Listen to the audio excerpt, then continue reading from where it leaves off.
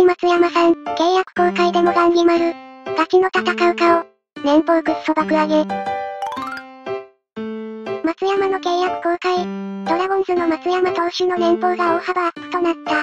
しかし、今年の成績を見た時に、もっと上げろと、この金額が妥当ではないと見ているファンも多い。普通にジャリエルの穴を埋めてくれたやろ。亡命さんがもらってた年俸上げてよ。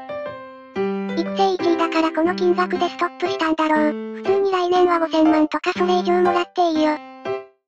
これ見たら中地は現状維持でいいと思った。ロドリゲスより松山の方が頼もしい。普通に肩壊さないかが心配。あの投げ方してたら大怪我するぞ。朝尾みたいに短命でいいから輝きたいって言いそう。これくっそかっこいいやん。からこんな短時間で必要不可欠な存在になるなんて本当にすごいと思う。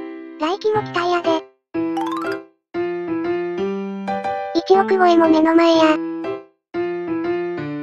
公式 Twitter 始めました。現地情報などをお届けするので、フォローもよろしくお願いします。